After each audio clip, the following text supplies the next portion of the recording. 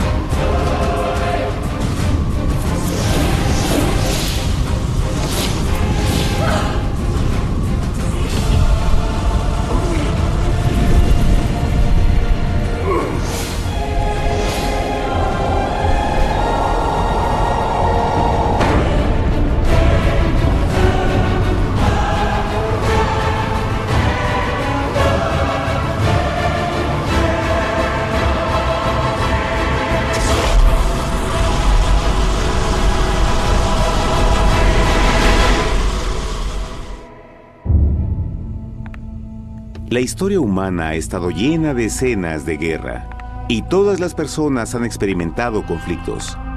Pero para entender el origen del mal, debemos viajar al pasado, a la primera guerra en el universo. Porque esta guerra no ocurrió en la Tierra. Antes de que nuestro mundo existiera, hubo una guerra en el cielo. Hasta las palabras guerra en el cielo suenan como la última paradoja.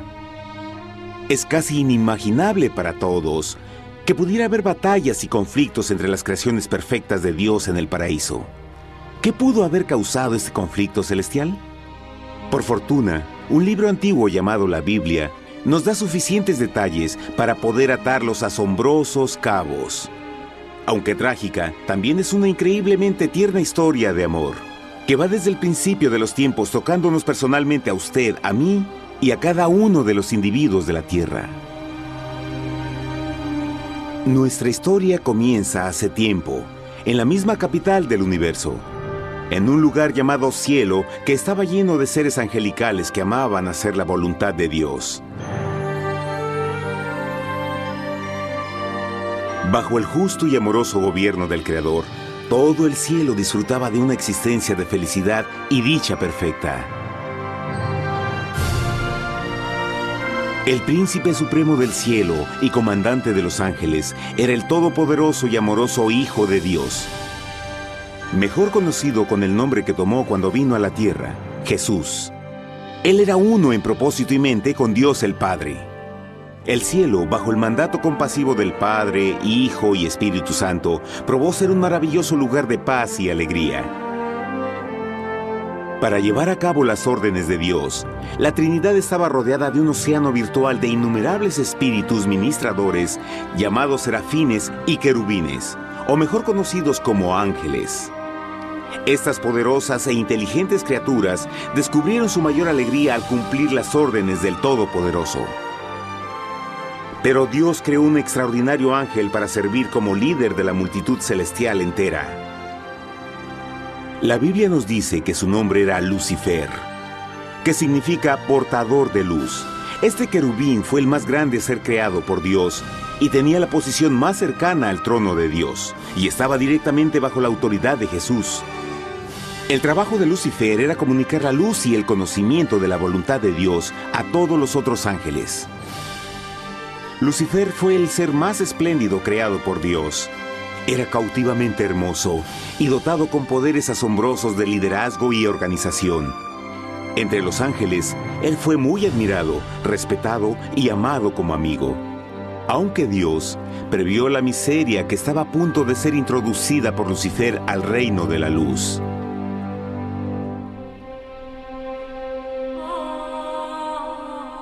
lleno de sabiduría y acabado de hermosura.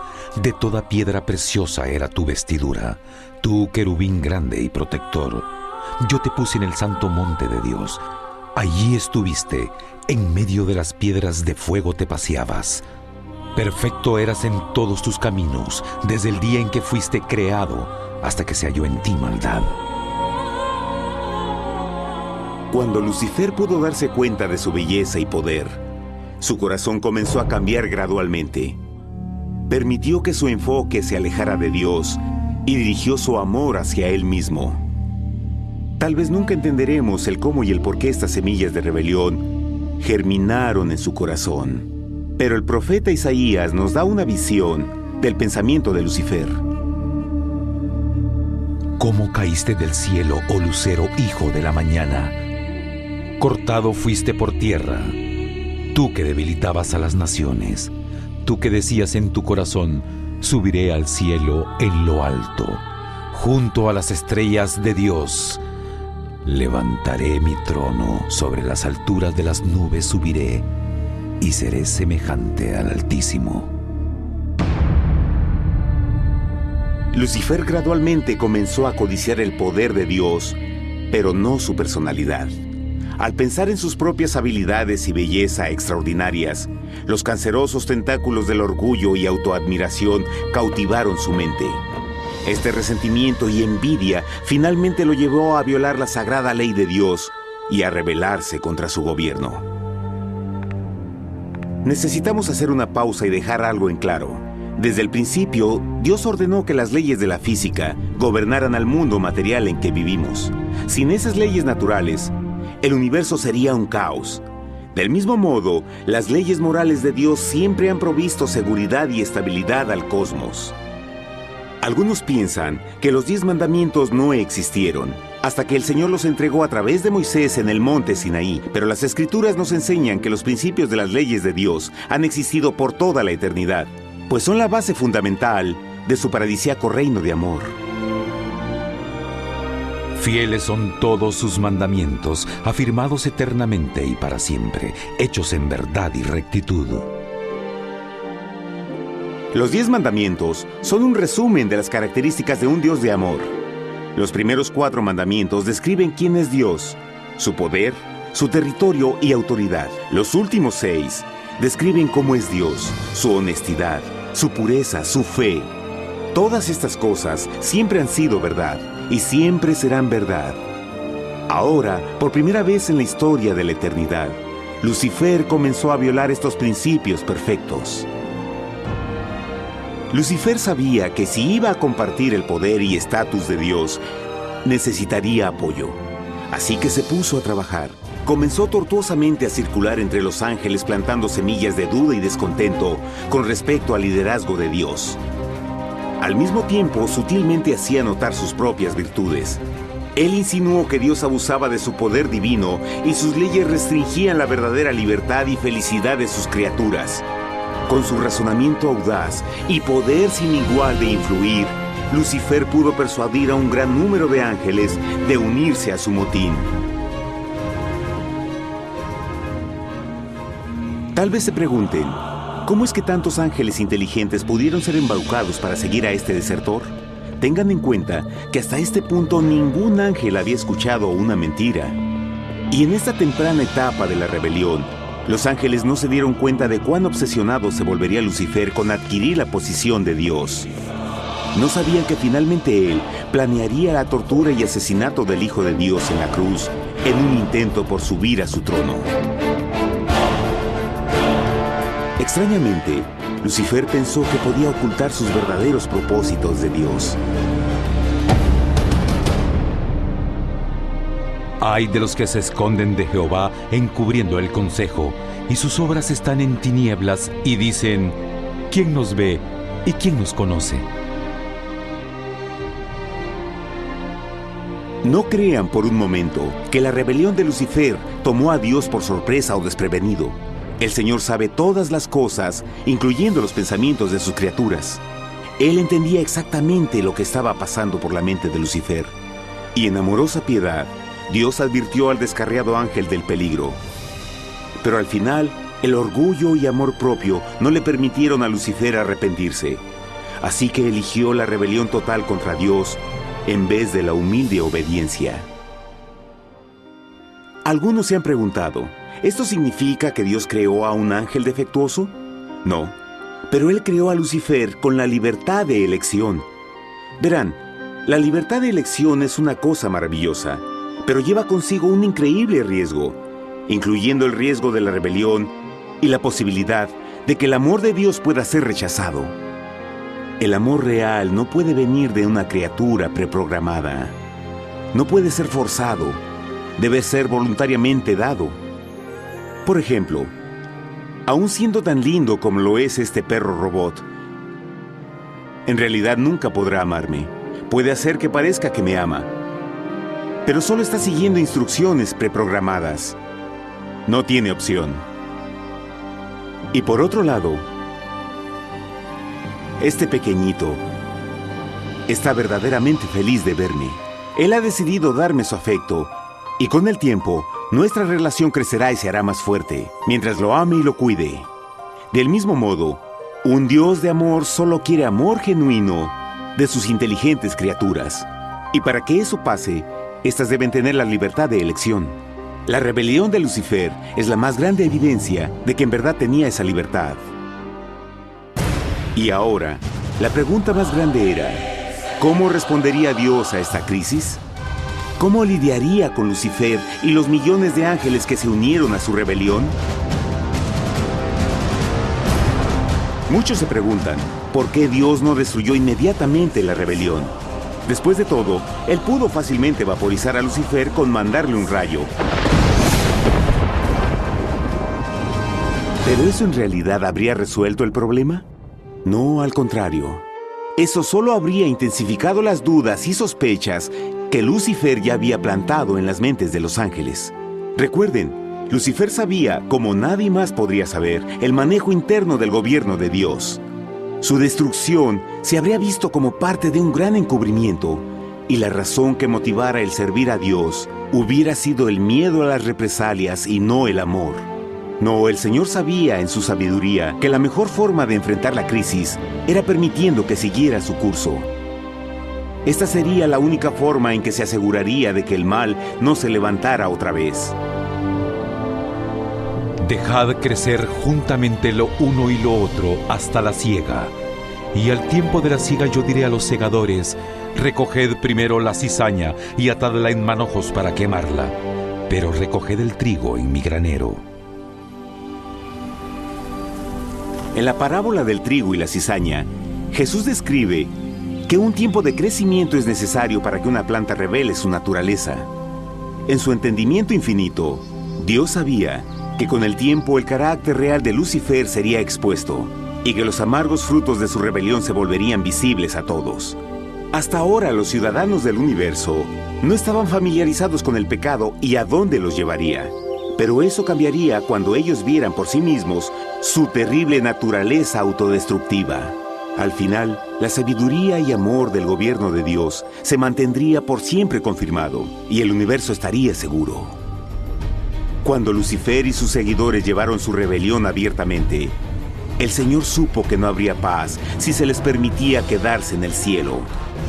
Debía ponerse un límite, tomar acción y desalojar a los rebeldes. Pero Lucifer y sus seguidores nunca se irían por su propia voluntad o pacíficamente. El siguiente paso era la guerra.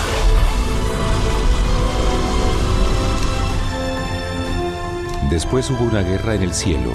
Miguel y sus ángeles luchaban contra el dragón, y luchaban el dragón y sus ángeles, pero no prevalecieron y se halló ya lugar para ellos en el cielo y fue lanzado el gran dragón, la serpiente antigua que se llamaba Diablo y Satanás, el cual engaña al mundo entero, fue arrojado a la tierra y sus ángeles fueron arrojados con él.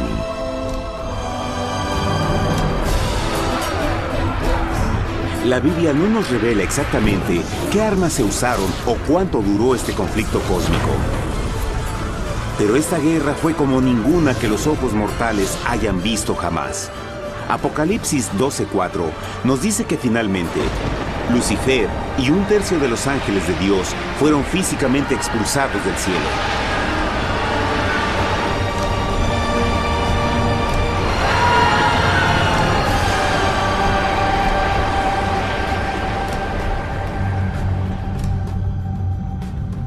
Pero, ¿qué venía después? Lucifer ahora tenía millones de ángeles de su lado, pero necesitaba un pedazo de suelo desde el cual continuar su rebelión. Pronto, demasiado pronto, el universo comenzó a entender lo doloroso y costoso que el pecado podría llegar a ser. Y la guerra no había terminado, apenas comenzaba. Lucifer, el portador de luz, ahora se volvió Satanás, el adversario.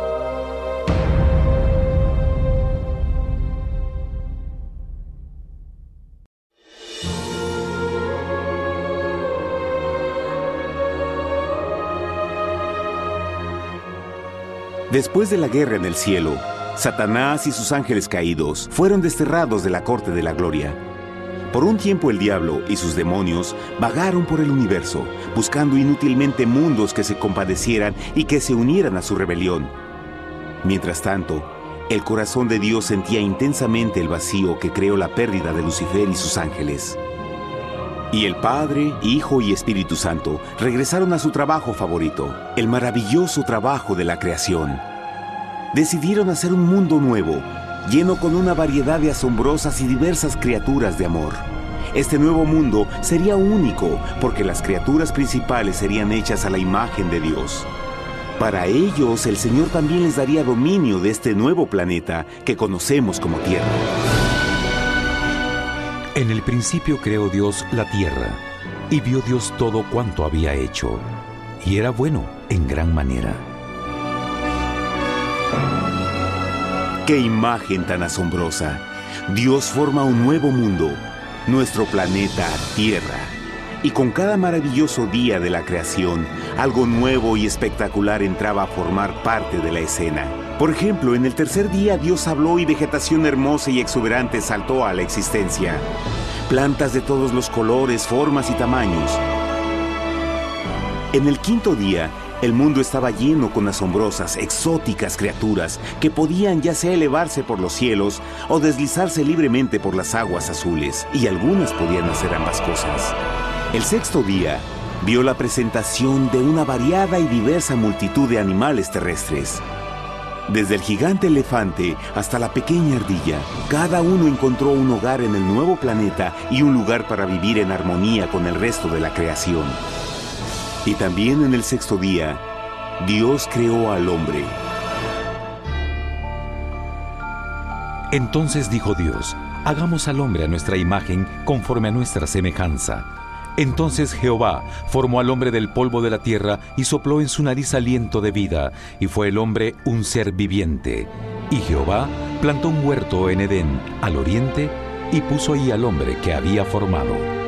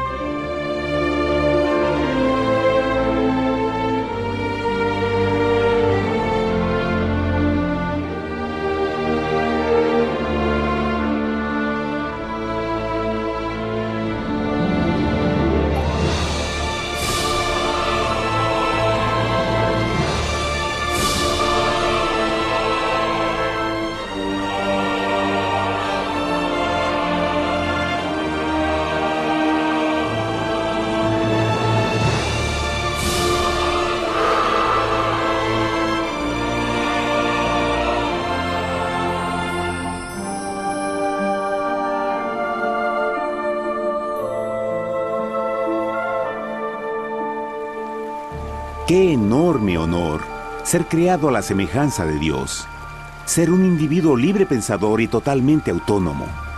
Al principio, el hombre no notaba su desnudez. Probablemente eso fue porque antes del pecado, él estaba vestido con gloria y luz.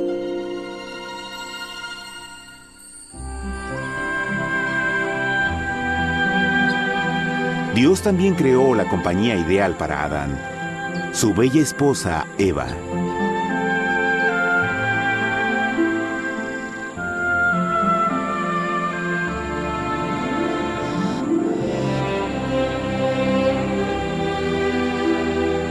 La alegre pareja fue colocada en un magnífico jardín perfectamente diseñado para aumentar su felicidad.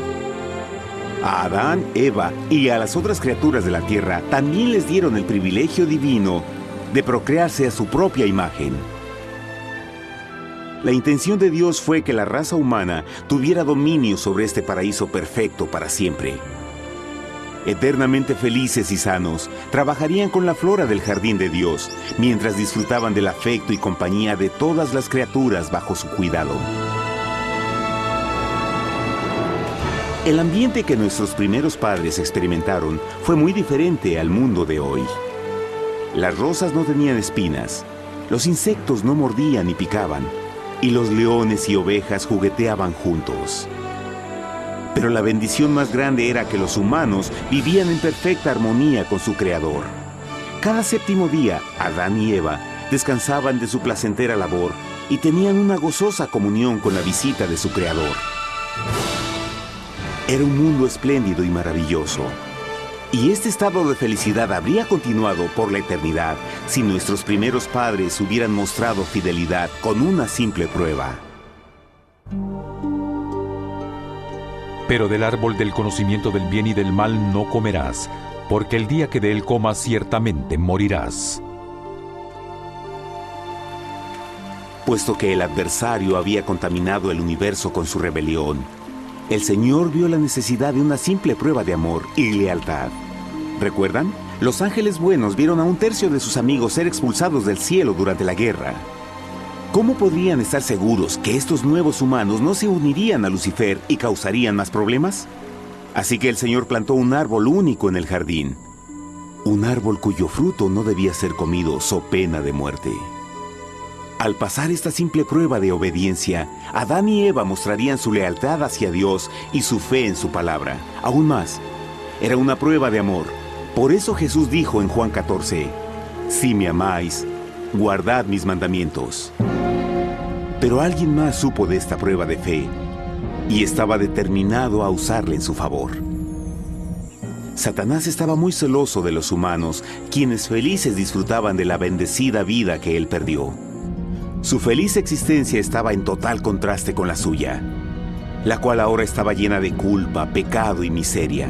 En su resentimiento y enojo no estaba dispuesto a dejar a la pareja en paz, pues el pecado siempre buscará arrastrar a otros consigo.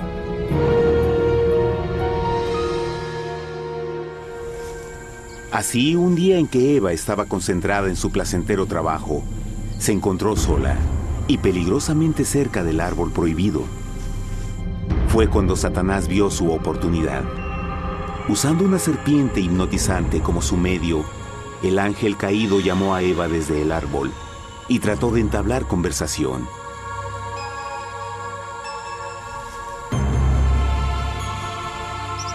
Sus palabras encantadoras fueron cuidadosamente calculadas para infundir desconfianza a Dios.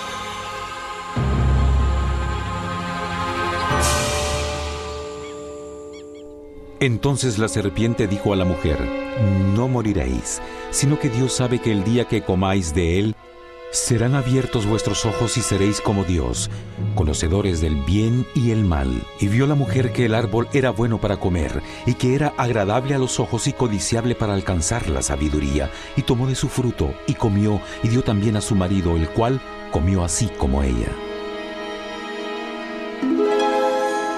Trágicamente, cuando Eva escuchó la suave y sedosa voz del tentador, comenzó a tener dudas sobre la palabra de Dios. La serpiente la engañó con la promesa de gran poder y sabiduría. Eso llamó su atención. Después de todo, aparentemente el fruto le dio a la serpiente la habilidad de hablar. ¿Qué otros poderes podría darle a ella?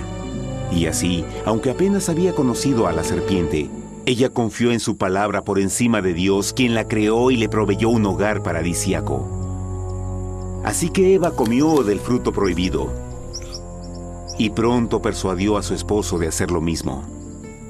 Adán pudo haber elegido mantenerse leal a Dios, pero él puso su amor por su esposa sobre su amor por Dios.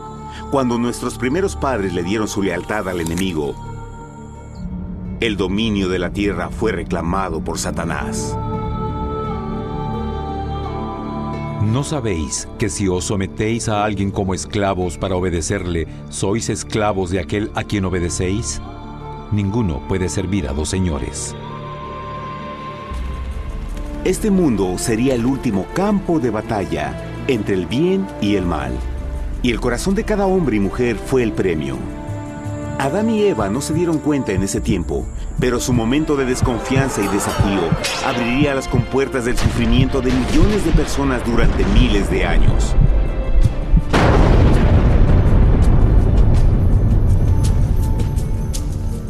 Por tanto, como el pecado entró en el mundo por un hombre y por el pecado la muerte, así la muerte pasó a todos los hombres, por cuanto todos pecaron. Nuestros primeros padres pronto se enfrentaron al terrible resultado de su pecado. En su estado santo, Adán y Eva resplandecían con túnicas de gloria. Después de pecar, sus túnicas naturales de luz se desvanecieron y se sintieron mortificados con la sensación de su desnudez. Vergüenza y temor reemplazaron su alegría y paz y trataron de cubrir su desnudez con hojas. Ahora también se encontraban bajo la constante influencia del diablo. Cediendo a la tentación, habían debilitado su naturaleza y Satanás había ganado poder sobre la humanidad. Las personas no podían resistir a las tentaciones del diablo con su propia fuerza. Por último, y lo más aterrador, se encontraban viviendo bajo la pena de muerte inminente. Dios les había advertido que la desobediencia traería la muerte. Ya habían experimentado la muerte espiritual. ¿Cuánto tiempo pasaría para que sufrieran la muerte física también? En ese punto su futuro no tenía nada más que oscuridad y desesperación. Echó pues fuera al hombre y puso al oriente del huerto de Edén querubines y una espada encendida que se revolvía por todos lados para guardar el camino del árbol de la vida. Igual que el pecado provocó que los ángeles caídos fueran expulsados de su hogar celestial, ahora por la desobediencia, Adán y Eva fueron sacados de su jardín, su hogar en el paraíso. Todo a su alrededor estaba cambiando rápidamente y la humanidad se encontró susceptible a las penas, enfermedades y finalmente a la muerte. Hasta los animales y plantas estaban infectados por la terrible maldición. Las espinas y cardos ahora aparecían en árboles y flores, y los animales que anteriormente eran gentiles comenzaron a matarse y devorarse unos a otros. El peor resultado fue que el pecado separó a la humanidad de Dios. Pero vuestras iniquidades han hecho división entre vosotros, y vuestro Dios y vuestros pecados han hecho ocultar de vosotros su rostro para no oír. En la creación, a Adán y Eva se les dio el honor de hablar con los ángeles y hasta con el Hijo de Dios cara a cara. Pero Dios es tan puro y santo que ningún mal puede existir en su presencia. Ahora que los primeros humanos habían pecado, Dios alejó su santa presencia de ellos por su propia protección. El pecado había quemado una catarata en el alma del hombre que ya no podía ver la dimensión espiritual. Desde ese momento en adelante la comunicación con el cielo sería limitada. Conforme estas maldiciones cayeron sobre Adán y Eva, el corazón de Dios se llenó de tierna compasión. La ley que habían roto no podía ser alterada para salvarlos, pues es tan sagrada e inmutable como Dios mismo. El Señor sabía que había solo una forma en que el hombre podía ser redimido, Así que un plan fue revelado, nacido desde el fondo del corazón de Dios, un plan para salvar al hombre de su cita con la muerte eterna y restaurar todo lo que se había perdido con el pecado. Sería un asombroso intento en su intensidad, alcance y poder, pero sería un plan que también implicaría un enorme sacrificio.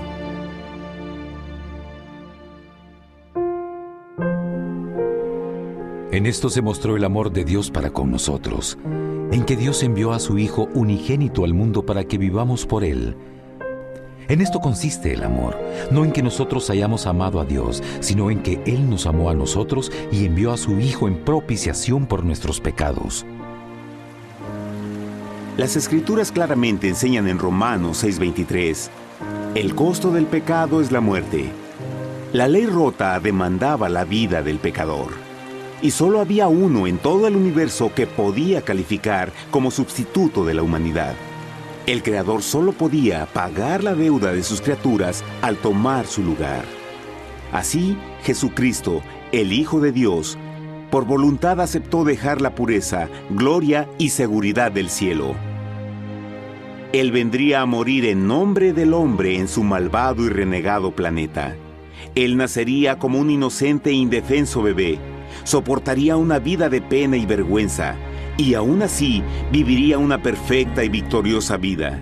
Finalmente, Él tendría una muerte humillante para poder ser sustituto de la humanidad caída. Por su sacrificio, la humanidad asombrosamente recibiría una oportunidad más de tener vida eterna. Su sangre proveería el rescate para el mundo que había sido raptado por Satanás. Este maravilloso plan de redención fue gráficamente ilustrado en el sistema de sacrificios de animales ordenado por Dios después de la caída del hombre. El Señor había advertido a Adán y Eva que morirían el día que comieran del fruto prohibido. ¿Y cómo fue que permanecieron vivos? La Biblia nos dice que inmediatamente después de su pecado, Dios les proveyó ropa en la forma de pieles animales. Es digno de notar que Apocalipsis se refiere a Jesucristo como la oveja, que fue muerto desde el principio del mundo. Esto indica que una oveja fue sacrificada el mismo día para prevenir sus muertes inmediatas. Por fe, en este sacrificio sus muertes fueron simbólicamente transferidas de ellos a la criatura inocente. La oveja, por supuesto, era la representación de Jesús. Y así, un rayo de esperanza fue provisto en una situación de aparente oscuridad y desesperación. A través del arrepentimiento y la fe en la sangre del Mesías venidero, cualquier humano podría ser una vez más hijo de Dios. Pero a pesar de este maravilloso plan, Satanás aún tenía dominio sobre la tierra y la vida en este mundo no sería fácil. En el mundo tendréis aflicción, pero confiad, yo he vencido al mundo. Naturalmente muchos se preguntan, ¿cómo un Dios amoroso y poderoso permite penas y sufrimiento en nuestro mundo actual? Pero está claro desde el Génesis que Dios nunca quiso que conociéramos la pena y tribulaciones de esta vida. Cuando el mundo salió de la mano de Dios, la tierra era un maravilloso paraíso. Fue el pecado de Adán y Eva lo que le dio a Satanás el derecho a reclamar control de este planeta. Debido a su trágica elección, el diablo y sus acólitos ganaron el poder de tentar y atormentar a los humanos, infligiendo la enfermedad, el dolor y el sufrimiento. Podría ser mejor preguntar, ¿Por qué Satanás tiene control total sobre la humanidad? La respuesta es Jesucristo. Tal vez ya se dieron cuenta que la muerte de Jesús en la cruz nos dio a cada uno de nosotros la oportunidad de ser salvados. Pero en realidad hizo mucho más que eso. Cuando el Salvador ofreció su vida para redimir a la tierra, ese acto ponía restricciones al control de Satanás sobre la humanidad. Satanás no podría forzar nuestra voluntad y su poder de lastimarnos sería limitado. El sacrificio de Cristo también nos brindó un tiempo de prueba, durante el cual podríamos ver la diferencia entre el gobierno de Dios y el de Satanás, y luego decidir a quién serviríamos. Finalmente, por el sacrificio que hizo Jesús, el reino de Satanás llegará a su final y un día la tierra será devuelta al hombre, más maravillosa de lo que era al principio. Aunque Adán y Eva comenzaron sus vidas como exiliados del paraíso, aún tenían esperanza. Dios les proveyó de pieles de animales sacrificados para cubrirse. Pero lo más importante, Él les prometió la sangre del Cordero de Dios para pagar por su pecado si aceptaban a Cristo y se arrepentían. Una gran pregunta permanece. ¿Las personas aceptarían el generoso regalo de Dios? ¿Cómo escaparemos si descuidamos una salvación tan grande? La asombrosa historia que acaban de escuchar es verdad y los afecta. Pues por el deseo de Satanás de ser Dios y la desconfianza y desobediencia de Adán y Eva, todos nos encontramos en una situación peligrosa. Por una parte, la humanidad ha sido grandemente favorecida por Dios con una segunda oportunidad de recuperar nuestro hogar del Edén. Por otra parte, si desistimos de aprovechar esta gran oportunidad, nos volveremos esclavos de Satanás y finalmente seremos destruidos cuando Dios limpia el universo del pecado. Amigos, no hay mejor tiempo para elegir a Jesús que justo ahora. Ninguno de nosotros sabe cuánto más tendremos que vivir en esta tierra. Nuestras vidas pueden terminar instantáneamente. Jesús ha mostrado gran interés en su bienestar y su amor por ustedes lo llevó a proveernos con un escape de la futura destrucción. Él solo le pide que lo acepte, se arrepienta de sus pecados.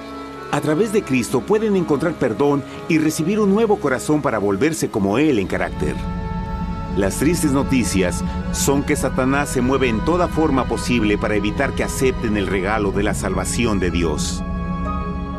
Debido a la actividad de la vida, el amor al dinero o alguna otra distracción fascinante, Él trabaja para mantenerlos ocupados y alejados de lo que en realidad importa, su salvación eterna. Para que entienda, la realidad de la situación es que si no elige a Jesús, por omisión está eligiendo a Satanás. Aunque la terrible elección de Adán y Eva trajo muerte y miseria inauditas, usted tiene la oportunidad de tomar una mejor decisión. Dios le está ofreciendo una paz que satisface el anhelo más profundo en su alma y una alegría que lo sacará de las tribulaciones de este mundo. El deseo que tiene el corazón de Dios es que sea salvado y esté con Él en el paraíso. Pero el único que puede mantenerlo fuera del cielo es usted. Imagine lo trágico que sería si innecesariamente rechaza este precioso regalo. Usted puede elegir hoy aceptar la salvación que Dios ha prometido. De hecho, en este mismo momento puede aceptar la vida eterna a través de Jesucristo. ¿Puedo invitarlo a que me acompañe ahora mismo en una simple oración aceptando su maravillosa oferta? Por favor, repita después de mí. Querido Padre Celestial, Vengo a ti ahora y humildemente pido tu perdón. Señor, confieso que soy un pecador y he violado tu santa ley. Entiendo que la pena por el pecado es la muerte. Creo que Jesucristo sufrió y murió en la cruz para tomar el castigo por todos mis pecados. Creo que Jesús resucitó de la muerte y lo acepto como mi Salvador personal. A partir de este momento en adelante, te doy mi corazón y confío en que tú serás el Señor de mi vida. Por favor, perdona todos mis pecados y envía a tu Espíritu a ayudarme a hacer tu voluntad. Te agradezco por tu gran amor y acepto tu regalo de vida eterna. Y yo oro por estas cosas en nombre de Jesús. Amén.